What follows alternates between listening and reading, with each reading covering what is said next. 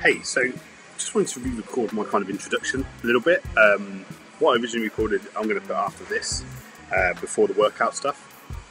But it's because at the time of filming that original introduction, I wasn't aware, um, mainly because I forgot it was a bank holiday. But um, this is actually my last session in Swansea University Gym, and just wanted to kind of talk about that a little bit because Swansea Uni is somewhere I used to work.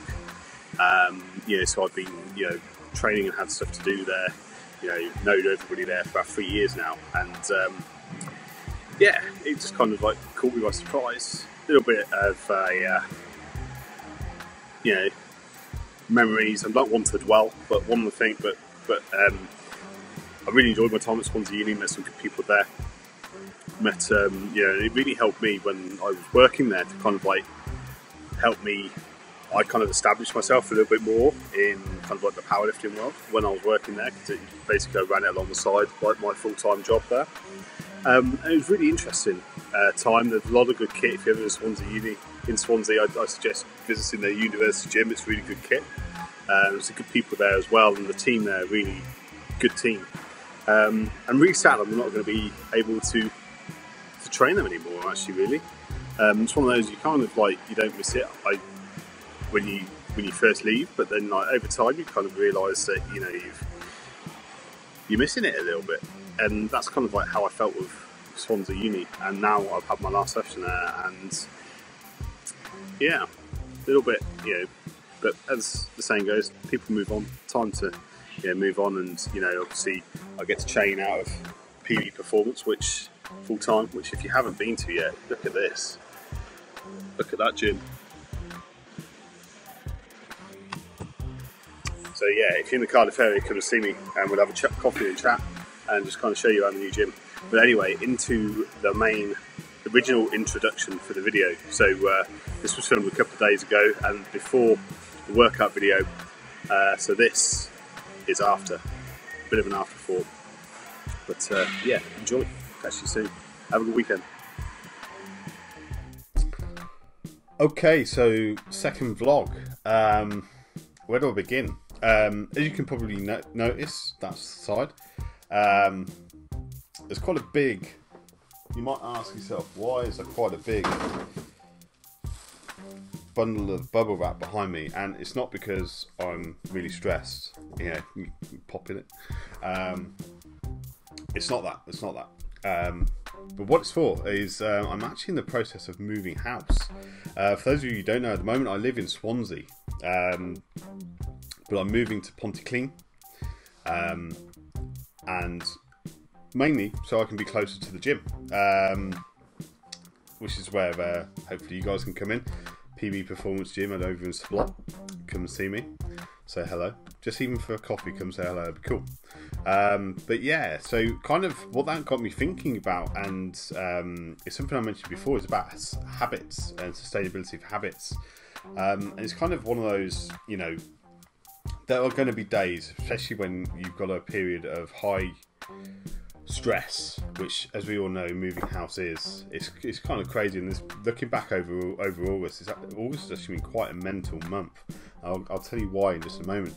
But um, yeah, stressful time, especially moving moving house. And the reality of it is, looking at my week, because realistically, it's going to take two days to move because we move out of here on the Tuesday and we're into the new place on the Wednesday.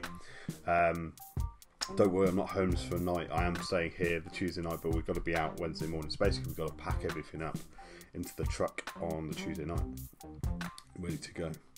Um, but as you can imagine, that essentially is going to mean that all my time um, is kind of going to be taken up doing that, loading a truck, getting everything organised with that, and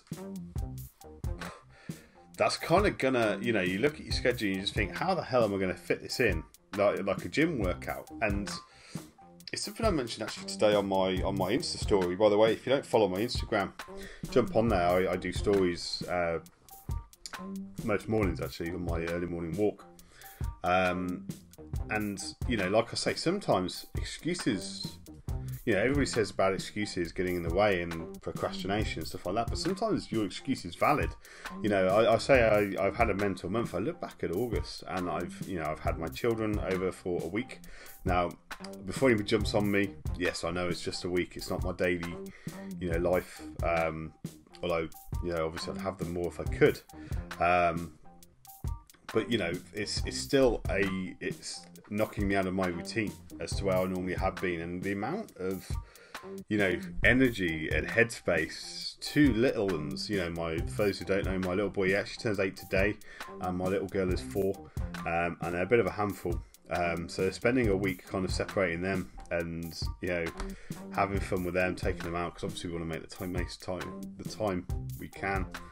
Um, you know, we want to have fun with that. And it really knocked like things like training out of routine. I actually had to join um, the local gym, the 24 hour place, the 24 hour gym, um, to get my workouts done. So basically, I went at basically, well, they went bed at half seven.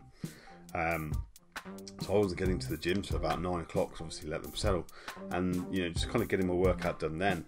Um, but the, the way it affected my workout, you know, my, my energy was a lot less. You could really feel it in the workouts, and it kind of right, nearly knocked me for six.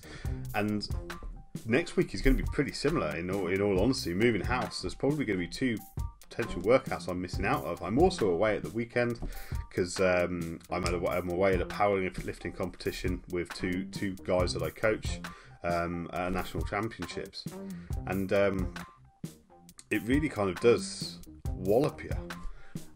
And like I say, sometimes your excuses are valid.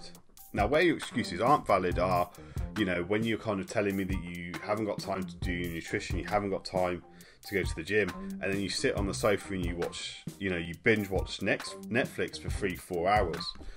Um, that's the time when you know you kind of got to got to look at things and go, hmm, maybe actually, you know, you, it comes down to it. Maybe what it is is it's not a case of that you're just putting off it and saying you don't have time. It's just a case of priorities, and you know, you do need to, especially when forming a new habit. Um, you've got to just prioritize it and prioritize it, and you know, I'm not saying it has to be the be all and end all, and you should sacrifice other things for that. Um, but sacrifice Netflix. it's basically what I'm saying. Um, because, you know, if you want to make progress, you want to move forward, then these are the things you've got to do.